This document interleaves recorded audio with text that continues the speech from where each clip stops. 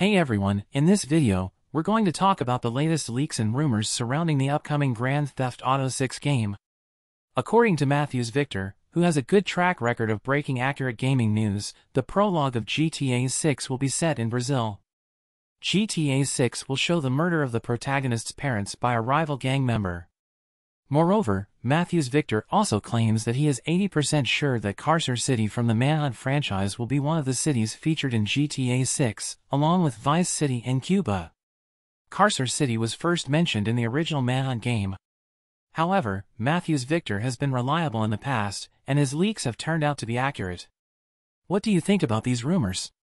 Do you believe that GTA 6 will feature multiple cities, including Brazil, Carcer City, Vice City, and Cuba? Let us, of course, don't forget to hit the like button and subscribe to our channel for more gaming news and updates. Thanks for watching.